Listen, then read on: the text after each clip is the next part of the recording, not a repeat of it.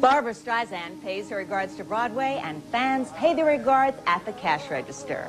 Hello, everyone, and welcome to Showbiz Today. Barbra Streisand is the talk of the music industry today. CNN's Paul Vercammen reports her new album, Back to Broadway, is taking her back to the top.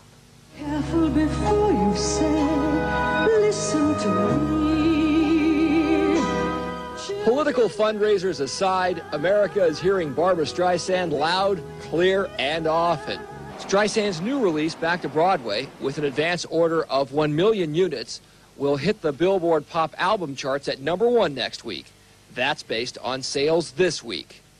It's rare, but it's not unusual. I mean, uh, we, we have uh, uh, films like Beauty and the Beast and Aladdin, which essentially are new songs built on a, a traditional uh, uh, Broadway or Tin Pan Alley basis. So uh, the, uh, the public is uh, still uh, uh, attracted to this kind of material. The Columbia Records release features a duet from West Side Story with Johnny Mathis.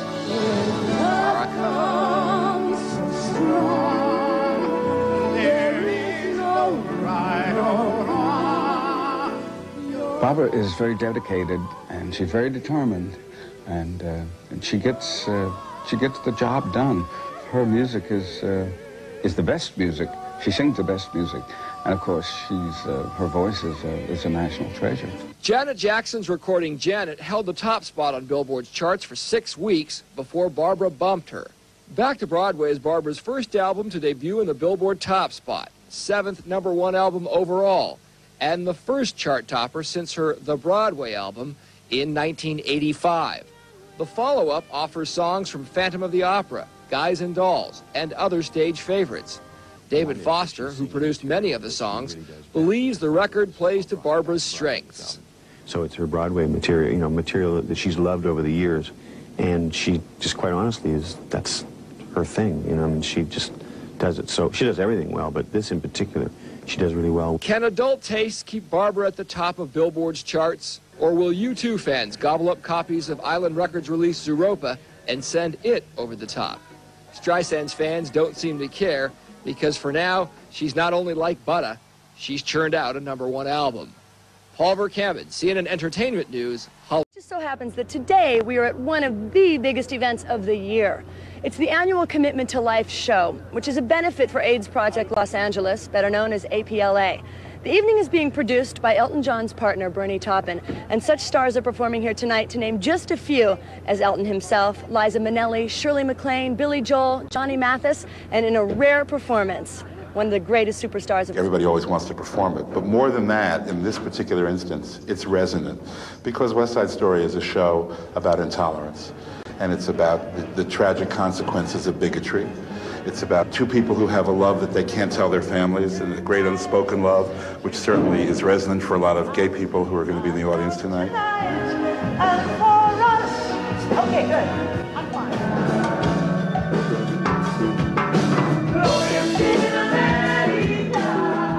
Although the tickets were priced at between $50 and $1,000, they sold out within hours. All the vast array of performers were told that there are no stars here, everyone's here for the same cause. This is not the Maria we pretty dress, such a pretty smile, such a pretty me.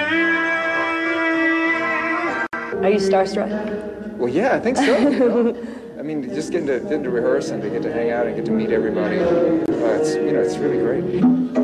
As well as raising money for the charity, the show was also to honor music mogul David Geffen and Barbra Streisand for the work they've done for AIDS. Well, this is about life and death, and this is about life and death for a lot of people. 160,000 people in the United States have died already, and a million people are infected.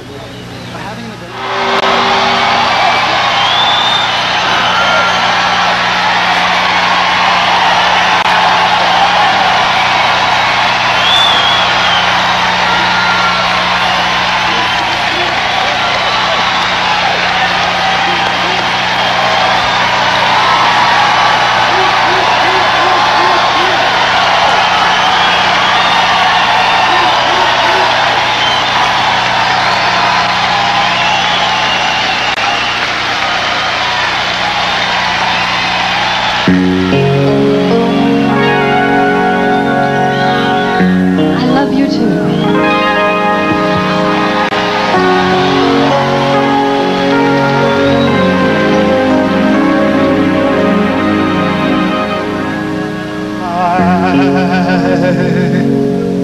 have a love, and it's all that I have right or wrong. What else can I do? I